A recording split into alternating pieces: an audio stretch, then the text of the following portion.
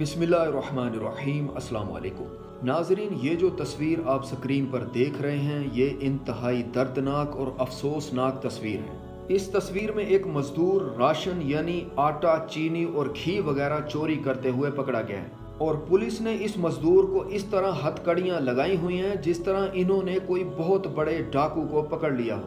حقیقت میں یہ تصویر عمران خان کی حکومت کا چہرہ بن چکی ہے۔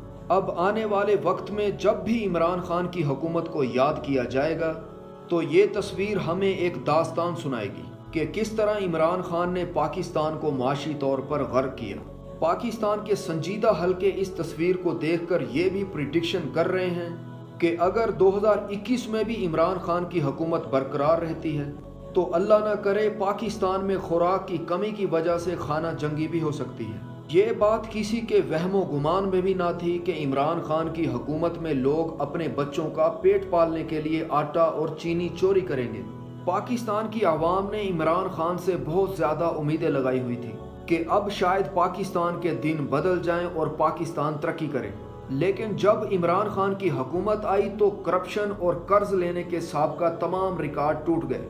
اس حکومت نے مافیاز کو جنم دیا ہے۔ جو نہ صرف مضبوط ہو چکے ہیں، بلکہ اب پاکستان کے ہر شعبے میں موجود ہیں۔ عمران خان کی حکومت کا اب تک کا سب سے بڑا ٹول جھوٹ رہا ہے، جس کی بنیاد پر اب تک عمران خان نے حکومت کی ہے۔ پاکستان میں پہلے بھی جھوٹ بولا جاتا تھا، لیکن جس طرح عمران خان نے جھوٹ کو پاکستانی معاشرے میں متعارف کروایا ہے، اس طرح کا جھوٹ پاکستان میں ایک نئی ایجاد ہے۔